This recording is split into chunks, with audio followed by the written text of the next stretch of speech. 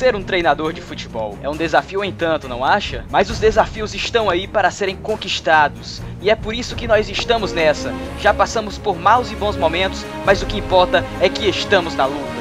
Já conquistamos a Itália uma vez e agora chegou a hora de irmos em busca da Europa. O canal dos Boleiros Games apresenta Dai a Roma, o que é de Roma. A nossa série na Master Liga do Pro Evolution Soccer 2015. Fala aí minha gente, tudo de boa com vocês? Canal dos Boleiros Games na área, eu sou o Oziel e sejam muito bem-vindos a mais um vídeo aqui no nosso canal, pessoal. É isso aí, hoje com essa voz assim, essa voz de locutor. Vamos deixar de canecagem, né, cara? Vamos logo pro jogo. O negócio tá muito melancólico aqui, ó. Galera, hoje nós vamos ter dois jogos e eu tô com essa melancolia toda. Porque, pô, cara, não, velho. Olha a minha blusa, cara, olha a minha blusa. Tudo faz sentido agora. Faz sentido. Não sei porque eu olhei pra trás agora, enfim. Hoje nós vamos jogar contra a Udinese, velho. Hoje nós vamos jogar contra a Udinese. Nosso ex-time vai ser vai ser com muita dor, cara, que eu vou jogar com a Udinese. Mas é a tabela do campeonato, a gente não pode fazer nada, né, velho? Então vamos lá, galera. Roma versus Udinese no Estádio Olímpico de Roma. Vamos re reencontrar aí aquela galera toda que esteve com a gente durante a temporada passada toda, que levantou o título da, da Liga Italiana na temporada passada com a gente. Nós vamos ter a honra de jogar contra eles, contra Murimito, contra Di Natalio Artilheiro Idoso, contra o... Tá aí, cara, tá aí. Quadrado, Ricardo Goulart, Bárbara Puleia, todo mundo, todo mundo, cara, toda a galera. Pô, muito legal, cara, esse reencontro. Mas também dói, né, cara? Se jogar contra esse time é meio chato. Enfim, galera, depois de tanta melancolia, vamos pro jogo, cara. Vamos pro jogo. Vocês estão vendo que até o meu tom de voz tá meio desanimado. Pô, leva a sério, cara. Vamos lá. É, a gente tem que, tem que entrar no clima aqui. Então vamos lá, galera. Vamos lá, vamos lá. Ai, ai, meu Deus, meu Deus. Senhoras e senhores, estamos aqui no Estádio Olímpico de Roma para o reencontro, o jogo, pessoal. Toda vez que eu vejo esse time entrando em campo assim, me dá aquele, aquele, aquele aquela saudade, né, cara, da Udinese. Olha só, todo mundo perfilado aí, vocês veem os jogadores da Roma, e a gente fica pensando sobre o passado da gente, como foi bom ter treinado aquela equipe da Udinese. Então vamos lá, galera, vamos enfrentar com todo respeito, claro, a equipe da Udinese. E vamos tentar fazer o nosso resultado, né? Porque a gente precisa da vitória por estarmos jogando em casa, beleza? Então a gente tem que fazer a nossa casa uma, é, um forte, cara. A gente tem que tentar vencer todos os jogos em casa, porque é o mais importante nesses campeonatos de pontos corridos. Começa o jogo, galera, e vamos que vamos para esse reencontro com a Udinese. Opa, vacilou Laporte, foi levando, Markovic fez o toque, vai! Gol da Roma, não vou comemorar, cara, não vou.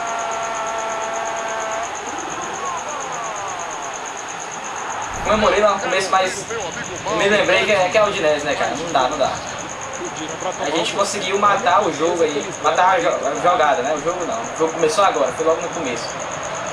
Boa, boa, 10. Tá lá, 1x0, galera. Abrimos o placar já pra cima da Udinese. O cruzamento. E é gol! Gol da Udinese. Muriel, né, cara? Tinha que ser o Muririto, o Murimito tá lá. E empatou a Udinese, galera, de cabeça. Eu falhei, cara, eu saí errado com o Barak, eu me adiantei demais, ó. Era pra me ter dado só uma tiradinha com o Barak e aí eu apertei, mas o cara saiu correndo feito um louco e o goleirão saiu e tá lá. 1 a 1 empatou. Achou já na frente o Destro, Destro na ponta, fingiu uma vez, fingiu duas, levou pra ponta, tentou o chute, bateu pra fora com curva, vai partir Pjanic. Vamos tentar daqui, né, cara? Bateu o Pjanic! Levou perigo. Agora sim, Markovic. Botou pra correr Markovic, achou espaço, já tá na área, vai fuzilar pro gol! Scufê faz um milagre, cara, um milagre.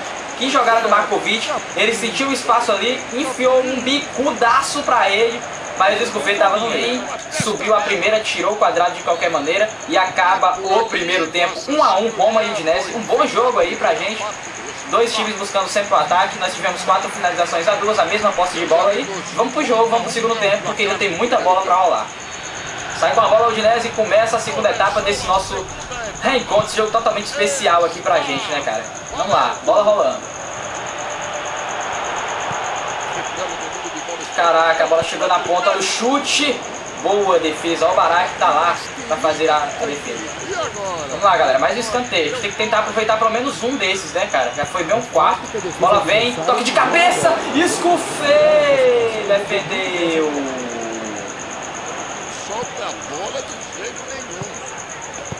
Olha o chute! Comemora muito o Albarak, defendeu de peito, cara. Que é isso? Muriel Schnerai ia fazendo o segundo dele. Olha só, cara, perigo. Lá vem o Aldinese de novo. Vieram pra cima os caras. Aí um toque de cabeça. Ó, o Barak fez a defesa, fez a defesa, conferiu. Não deu falta ele, cara. Últimos ataques, a bola é enfiada para Muriel Schnerai, vai chegando Muriel, passou pela marcação, limpou, bateu, o Barak fez a defesa, olha o rebote, ó Barak! Que goleiraço, mano, que goleiraço. Estamos já em cima da hora, galera, acabou. Fim de papo, ninguém ganhou, ninguém perdeu. 1 um a 1 um no nosso reencontro aqui com a Udinese. Um bom jogo, cara, um bom jogo. Vejam que foi muito disputado, tanto no número de finalização quanto no, nas finalizações. É, nossa, que é isso, velho. E como é bom ver um grande. Tanto na posse de bola quanto nas finalizações, ok? É, agora olha só, cara, nós tivemos só 75% de passes sérios, erramos muitos passes, por isso a gente não conseguia armar jogadas assim claras de gol. Muriel Schnerai veio aqui e foi eleito o melhor da partida, quem diria, mantendo o nível altíssimo que ele tinha nas nossas partidas lá na Udinese também, né, velho? É, cara, o problema é que os outros times ganharam e aí nós caímos aí, permanecemos na verdade na quinta posição, mas deixamos distanciada da Roma, né, cara? Ou melhor, da Juventus, cara, olha aí. Seis pontos já de diferença. E a Juventus é assim, velho. Se você vacilar uma vez, eles já, já sobe, já era. E agora nós vamos ter que remar um pouquinho já pra alcançar. Não pode deixar aumentar mais ainda, né? Vamos lá, galera. A gente vai ter dois jogos difíceis agora. No vídeo de hoje ainda vamos ter o jogo da Liga dos Campeões, que vai ser agora, né? Depois, no próximo vídeo, vamos ter jogo pela Copa. E vamos pro jogo contra é, o Zurique pela Liga dos Campeões da Europa. A nossa estreia, ou melhor, nosso segundo jogo, na verdade, aqui da fase de grupos. No jogo de estreia, nós empatamos em casa com a equipe do Chelsea. E vamos lá.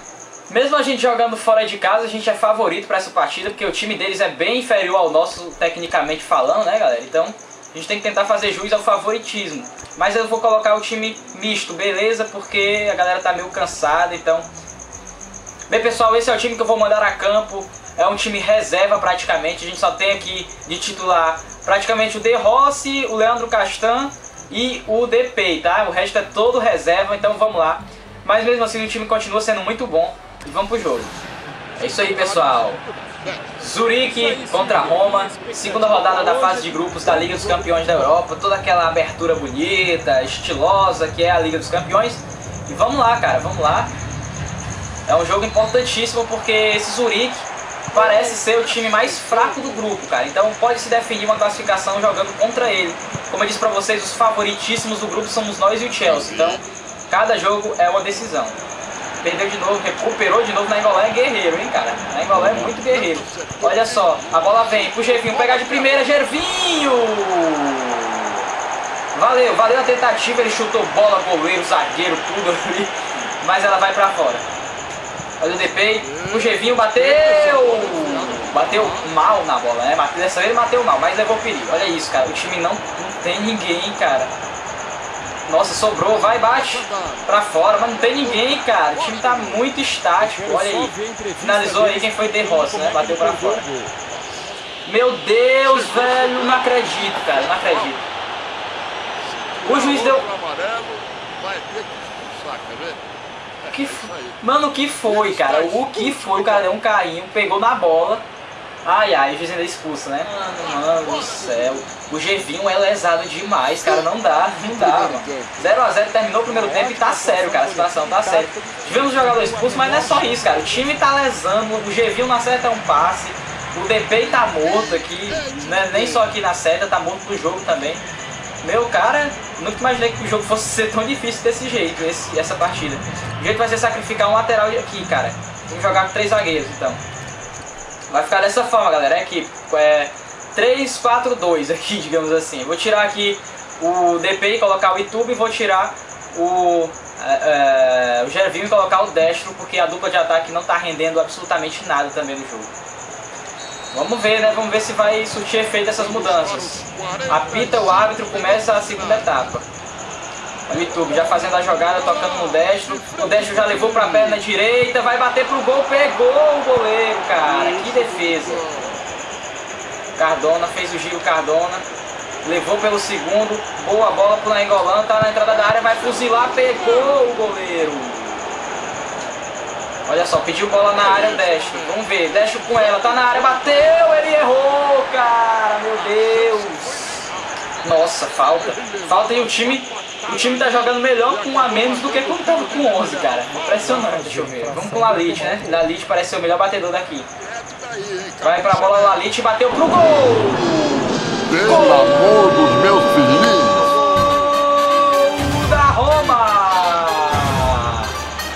Lalit, decisivo, entrou no jogo aí no segundo tempo e faz o gol de bola parada, gol de falta, um golaço e pra gente uh, tirar, né, tirar esse peso aqui das costas, porque tava tenso, cara, a bola não entrava, a gente tava até melhor no segundo tempo, mesmo com o jogador a menos, mas a bola teimava em não entrar, e aí o Lalit foi lá e deixar comigo, chá comigo que eu resolvo, bateu a falta perfeita, na gaveta, no ângulo, o goleiro nada pode fazer, e ela morreu no fundo dos, das redes aí, Lalit é o nome dele, camisa 8. Pela ponta. Daniele De Rossi, com espaço, já botou na frente, vai soltar o foguete! E ela passa com muito perigo, galera. Olha só a força que ele mete na bola. Ela caiu de uma vez e levou perigo. Perdemos a bola, galera. Perdemos, mas vai terminar. Acabou. Acabou, acabou-se. É isso aí. Uma vitória suada, mas que valeu muito a pena. Três pontos importantíssimos aqui na Liga dos Campeões da Europa. 1 a 0 fora de casa. E conseguimos fazer o nosso trabalho, né? 61% de posse de bola e finalizações a 1. Nós tivemos um domínio total da partida, como vocês podem ver. Mas só conseguimos marcar um golzinho lá com o Jalit, que tirou nota 7, foi o melhor da partida. Beleza, é o que a gente precisava. Só bastava um golzinho mesmo, só basta os três pontos aí, que são importantes pra gente. Nos outros resultados aí do nosso grupo, o Chelsea venceu por 3 a 0 o Twente e vai se isolando aí na liderança pelo saldo de gols, ó. 4 pontos pra eles, 4 pontos, quatro pontos pra nós, né? É, o Twente fica com 3 e o Zurich fica com 0, mas o Chelsea tem um saldo de gols bem maior devido a essa goleada. E agora vamos conferir como é que estão as classificações de artilharia e assistências das competições que nós estamos participando, né galera? No campeonato italiano a gente tem o Vidal como artilheiro, quem diria, Vidal com 4 gols ao lado do Carlito Teves ali, são os líderes em artilharia. Uh, o melhor posicionado da nossa equipe é o Destro na sexta posição com 3 gols, ok? O Vidal tem 4. Uh, nas assistências da Liga Italiana, quem está em primeiro, adivinha, Vidal. Com duas assistências, tem o Jorginho ali e o Pjanic da nossa equipe também na liderança com duas assistências, mesmo número que o Vidal, né? Classificação de gols da UEFA Champions League, o primeiro é o Oscar, garoto. Oscar do Chelsea, ao lado do Juan Mata e do Floriente. Os três têm três gols aí na Liga dos Campeões da Europa. E nas assistências, o líder é o Mário Soares, da equipe do Atlético de Madrid, seguido pelo Di Maria, o Inan e o Pepe. Todos têm duas assistências, beleza, galera? Então é isso aí. Vamos agora, por fim, conferir o nosso calendário maroto, olha aí. Vamos jogar pela Copa, o jogo de ida, que vai ser fora de casa contra o Petiora. E depois vamos jogar o jogo de volta em casa contra o Petiora. Então no próximo episódio vai ser só Copa da Itália, ó, só mata-mata. Então vai ser um episódio muito legal. E depois que a gente jogar esses mata-matas aqui, vamos entrar aí numa fase de clássicos pelo campeonato italiano. Então o negócio vai ser sério, ó. Napoli, Fiorentina e Roma, logo tudo de cara, então o negócio vai ser, vai pegar fogo aqui o campeonato italiano, beleza? É isso aí, galera, espero que vocês tenham gostado do vídeo, não se esqueça de deixar aquele like, vamos bater os recordes de like aí como a gente vem fazendo ultimamente, vamos tentar chegar a 200 likes aí no vídeo, então deixa aquele gostei maroto e adicione o vídeo aos favoritos. Se vocês não me seguem ainda nas redes sociais, pessoal, me sigam aí no Instagram, Facebook e Twitter que eu estou postando sempre lá as atualizações aqui do nosso canal pra vocês ficarem ligados em tudo em primeira mão, ok? Se você é novo no canal, seja bem-vindo e inscreva-se caso você não for inscrito, seja feliz aqui com a gente. Parecendo propaganda do Pão de Açúcar já, cara. Beleza, é isso aí galera, um forte abraço, valeu e fui!